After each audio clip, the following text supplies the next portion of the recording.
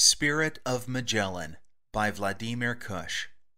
In ancient times, people believed the earth was flat and rested on three whales. Magellan changed these perceptions. If you sailed to the west, you would eventually return to your starting point from the east.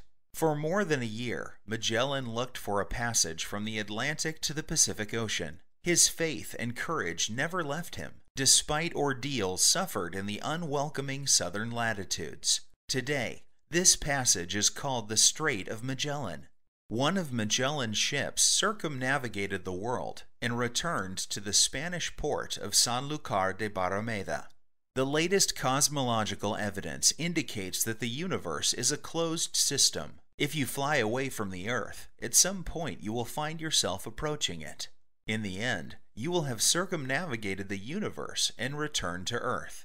The space probe Magellan flew around Venus 15,000 times, revealing what the surface of that distant planet looks like. It is sometimes called the evening star.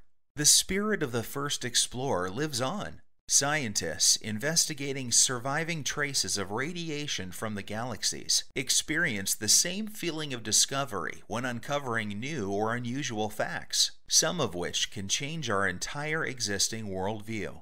With a little imagination, we can make out a figure flying along the moon glade, arms spread out over the moving ship as if to bless its voyage.